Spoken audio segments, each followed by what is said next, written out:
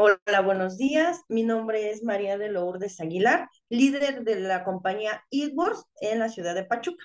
Y hoy les vengo a dar una presentación de los tipos de prospectos en cuanto a actitud, los cuales nos vamos a encontrar en nuestro camino de nuestro networking. Ahorita les voy a hablar de cuál. Hay cuatro tipos de prospectos y ahorita les voy a, hablar de ellos. Puedes pasar la otra luz. Sí, miren. Aquí en nuestro camino nos vamos a encontrar estos prospectos. El prospecto erizo, el ballenita, el delfín y el tiburón. Ahorita les voy a hablar de cada uno de ellos. Miren, por ejemplo, el, el erizo, el prospecto erizo, es el que siempre nosotros le vamos a dar este soluciona los problemas y él siempre nos va a decir o le va a encontrar un problema a, esa solución. Siempre va a estar negativo, siempre te va a estar diciendo, es que esto no sirve, es que no me gusta esto, es que yo tuve una experiencia. Ajá. Estos erizos se caracterizan, ya ven que los erizos se caracterizan por tener sus puitas. Estos tipos de prospectos, ¿qué vamos a hacer? Que vamos a cortarles esos, este, sus puitas. ¿Por qué? Porque vamos a, para este, identificar a nuestros prospectos necesitamos tener empatía. ¿Qué es lo que significa tener empatía hacia nuestros, a nuestros prospectos? Que nos pongamos en su lugar de ellos para entenderlos. Y debemos de entenderlos perfectamente para poderlos guiar en su proceso, porque un, una buena working debe de saber, más que conocer sus, a, sus a sus prospectos, debe de conocerlos, conocerlos y identificarlos para que no los lleguemos a quemar a nuestros prospectos, porque si no, no van a poder avanzar y si no avanzan ellos, nosotros tampoco vamos a avanzar. Entonces, con nuestro prospecto erizo, cuando él empiece a decirnos, ¿sabes qué? Es que si estamos hablándole de negocio, nos va a empezar a decir, ¿sabes qué? No, eso no funciona, este, no, no te pagan lo que es, este, siempre van a haber problemas en todo. Entonces tú le vas a tener que dar explicas, bueno, más que explicaciones, hacerlo entender o darle las capacitación o herramientas para que él pueda estar eh, informado, porque a veces el tipo de prospecto erizo está hablando de desinformación o no conoce la información, porque por eso es la desinformación, o, por ejemplo, si le estamos ofreciendo productos, a lo mejor viene atrás de una empresa X que nada más lo, lo atacaron de compra, compra, compra producto y este, y que este producto maravilla y que no sé qué. Entonces él ya viene como, mm, viene con esas heridas que dice, sabes que nada más me hacen comprar producto y no, no me funciona y este, ¿por qué no le funciona?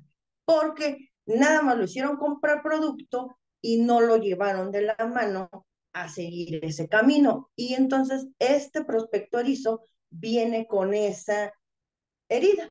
Entonces nosotros por eso decimos, hay que cortarle todo eso que viene, todas esas puitas, es eso, cortarles, darles información, ya sea acerca de nuestro negocio o de nuestro producto, para que este tipo de prospecto empiece a eh, a darnos este, su confianza y que nos pueda este, escuchar. En algún momento nos va a seguir eh, escuchar. Ajá. Y ahora nos, nos pasamos con nuestro tipo de prospecto ballena. Eh, ballenita, ese ballenita es siempre que siempre le encanta ayudar a la gente. Él no va por el dinero. Hay veces que siempre te dicen, ay, este, ¿cuánto voy a ganar? No, los ballenitas no, él nada más le interesa ayudar. Y si a tu empresa le ve ese potencial para poder ayudar a más personas a empoderarse o a ayudarse económicamente, la ballenita siempre va a decir, sí, si voy a ayudar, voy voy a ayudar a estas personas, a estas, así, y ellos son 100% creíbles, tienen mucha credibilidad. Ajá. Y con eso que les ayuda, a que les gusta ayudar. Pero este tipo de prospecto lo tienes que guiar. Ajá. ¿Cómo guiar? ¿Por qué? Porque él le tienes que decir, ¿sabes qué? Haz esto y él lo hace. Pero sí lo tienes que ir dándoles pautas para ir caminando contigo. Y ahora el prospecto del fin. El prospecto del fin es muy sociable, el cual nos, eh, nos va a ayudar. ¿Por qué? Porque a lo mejor si no llega a ser un líder grande en nuestra empresa, él nos va a ir atrayendo toda esa gente que es la que vamos a necesitar en nuestro este, proyecto y eso es lo que nos va a hacer crecer. Y también este prospecto tiene como característica no es, no es muy comprometido. Él, no, él, él nada más quiere ir a las fiestas y en la pachanga y a ver a quién conozco y no sé qué, pero a todos ellos atrae para tu, este, tu compañía. Y ahora el prospecto tiburón, ese prospecto todas las líderes lo quisiéramos tener. ¿Por qué? Porque tú nada más le dices, le empiezas a hablar de tu producto o de tu negocio y te dice, este negocio está genial. Él nada más va por el dinero y te hace preguntas puntuales, preguntas acertadas. O sea, él va al grano. Te dice, ok, este negocio, ¿cuánto voy a ganar? ¿Cuántos puntos tengo que hacer? ¿Cuántas personas tengo que invitar?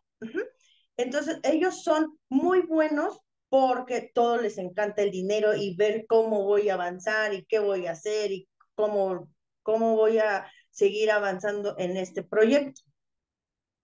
Estos tipos, estos cuatro tipos de proyectos, todos, todos, todos son buenos. Nada más que tú sí debes de saber identificarlos porque si no, no van a avanzar. Tú debes de eh, seguir con tu liderazgo, avanzando, avanzando, avanzando, pero cuando tú ves que y tú sepas identificar a tu tipo de prospecto, debes de decir, bueno, tengo un erizo, tengo una ballena, tengo un delfín, tengo un, un este, tiburón.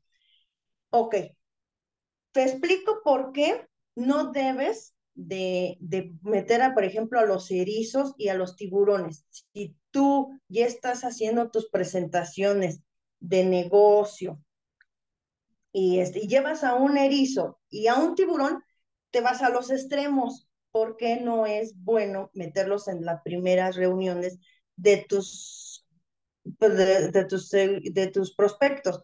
Porque si llevas al erizo y va con esa negatividad que te comenté, entonces todo lo ve malo. Entonces, el igual de ayudarte con la gente que estamos dándole esa información de tu negocio, nos va a confundir más a nuestros invitados. Y el tiburón de tanto que va a atacar, de tantas preguntas acertadas y tanto que esto, que el otro, lo vamos a llenar de mucha información y vamos a confundir igual a nuestros invitados. Es muy recomendable mejor llevar a nuestras ballenitas y a nuestros delfines, porque ellos, sabiéndolos, eh, darles la información para esas presentaciones, son muy buenos porque la ballena nos va a, a querer este, meter a la gente que nos ayude y el delfín mm, le gusta socializar con esa gente y bien informados nos van a traer muchos prospectos a nuestro negocio. Y también eh, debes también de, este, bueno, tenerlos bien identificados a tus prospectos para que, por ejemplo, el erizo, tú vas viendo, ah, bueno, el erizo tiene este problema, lo, le vas dando la información y ¿qué crees? Todos son buenos, todos los, los prospectos son buenos, aunque tú digas, no, el erizo mejor lo dejo al lado, no, porque un erizo, una ballenita o un delfín puede llegar a ser un tiburón con toda la información, con todo tu liderazgo que vas, vas encaminándolo, puede llegar a ser un excelente tiburón. Entonces, por eso les doy las características de estos prospectos para que tú los identifiques perfectamente y no los quemes en tu negocio o en tu, así en tu red, para que puedas identificarlos súper bien y estén, puedas trabajar con ellos súper bien.